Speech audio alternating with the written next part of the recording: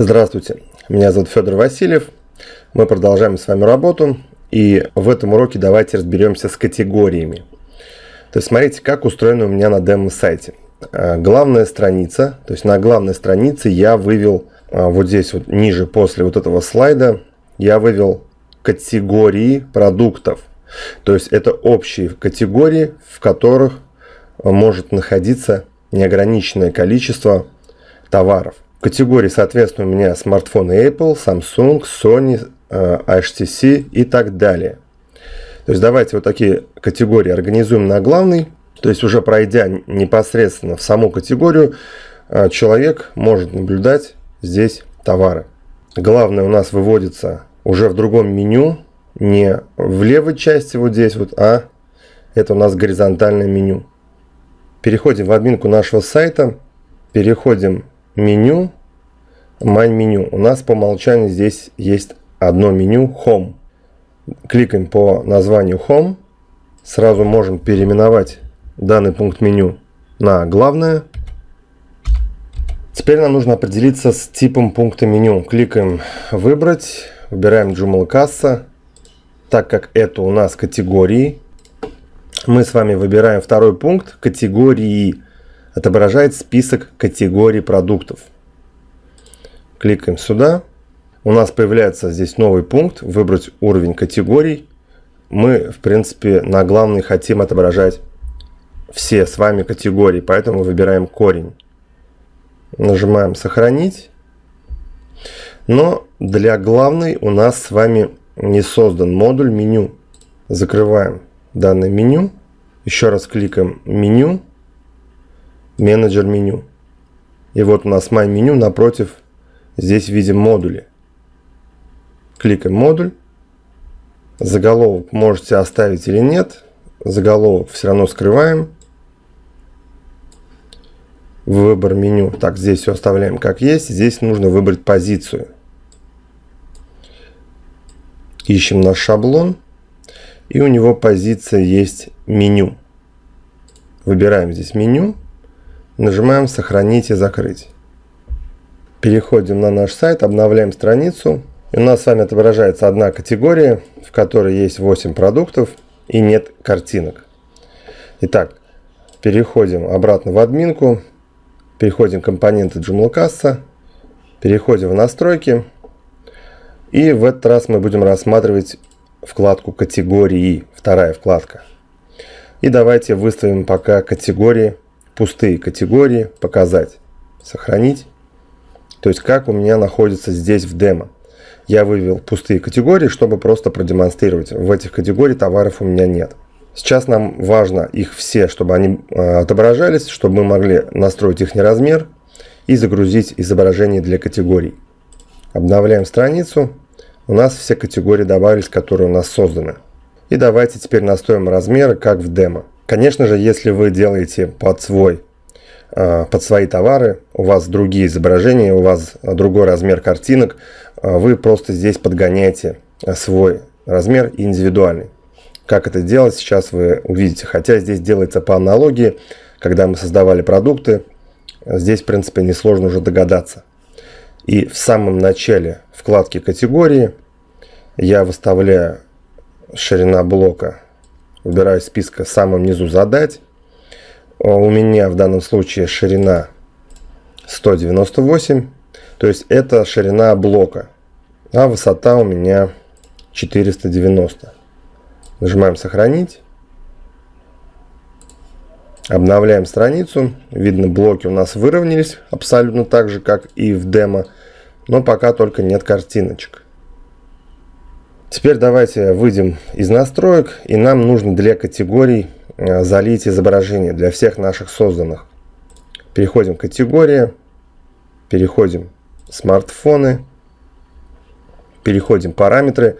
И у нас здесь единственное поле, куда мы можем загрузить изображение. Выбираем.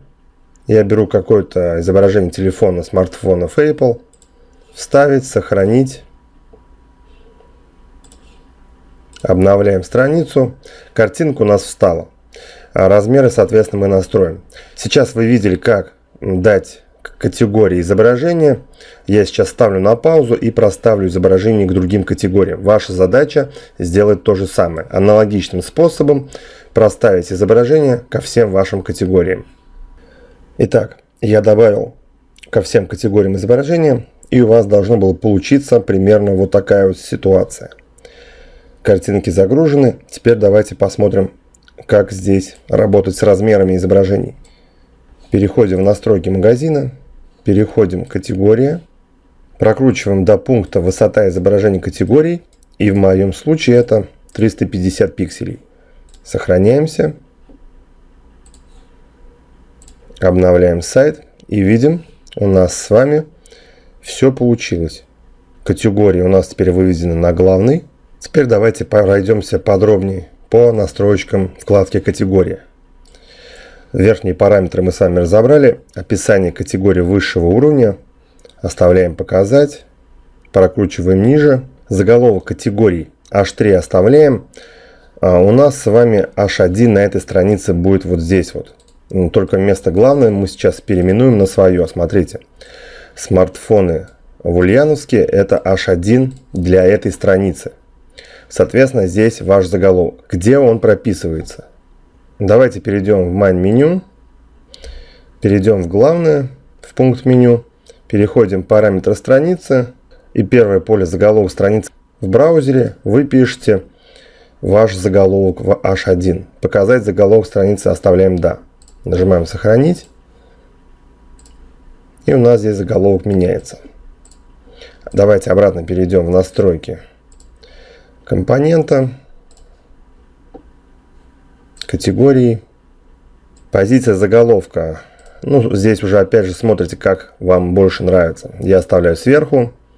Выравнивание заголовка влево. Изображение категории, конечно, показать. Мы с вами размер выставили. Выравнивание изображения по центру. Описание категории показать. Ограничение описания.